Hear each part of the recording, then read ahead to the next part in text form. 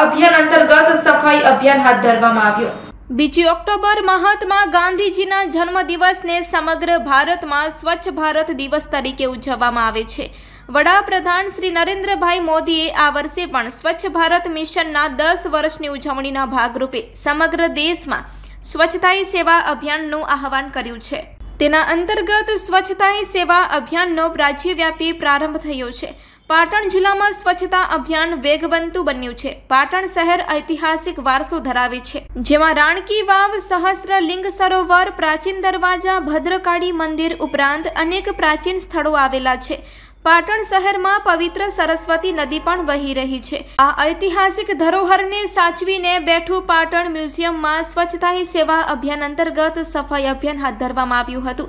સ્વચ્છતા સેવા અભિયાન અંતર્ગત પાટણ મ્યુઝિયમના ક્યુરેક્ટર શ્રી મહેન્દ્રસિંહ સુરેલાએ જણાવ્યું હતું કે માનનીય પ્રધાનમંત્રી શ્રી નરેન્દ્રભાઈ મોદી સાહેબ દ્વારા સ્વચ્છતા સેવા અભિયાનની શરૂઆત કરવામાં આવી છે, જે અંતર્ગત પાટણ મ્યુઝિયમના સ્ટાફ દ્વારા મ્યુઝિયમ પરિસરમાં સાફ સફાઈ કરવામાં આવી હતી.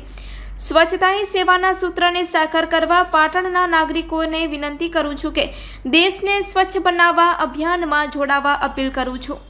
પાટણ મ્યુઝિયમના ક્યુરેક્ટર શ્રી ડોક્ટર મહેન્દ્રસિંહ સુરેલા સાથે કર્મચારીઓ સફાઈ અભિયાનમાં જોડાયા હતા. તેઓએ નકામો કચરો, પ્લાસ્ટિક વેસ્ટ સહિત અન્ય ઘન કચરો એકત્ર કરવામાં આવ્યો હતો. Report by Vinod Thakar, Patan, Harij. नमस्कार, मेरा नाम डॉक्टर महेंद्र सिंह सुरेला है। मैं पाटन म्यूज़ियम क्यूरेटर हूँ। जैसा कि आप सभी लोगों को पता है, माननीय श्री प्रधानमंत्री महोदय जी ने स्वच्छता ही सेवा अभियान जो चलाया है पूरे भारत के अंदर है, उसी क्रम के अंदर पाटन म्यूज़ियम में भी हमारे स्टाफ और हमारे द्वारा स्वच्छता ही सेवा का जो कार्यक्रम है वो किया जा रहा है। और मैं सभी से ये कामना करना चाहता हूँ कि पूरे भारत में जो ये स्वच्छता वाला अभियान है, सभी अपने मन से करें ताकि हमारा भारत एक स्वच्छ भारत के रूप में उभर के आए। धन्यवाद।